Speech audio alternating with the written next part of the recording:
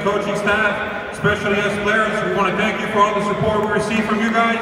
I've been here for nine years, and I know you guys love us every year. I really appreciate that. We need you this year more than ever. Thank you.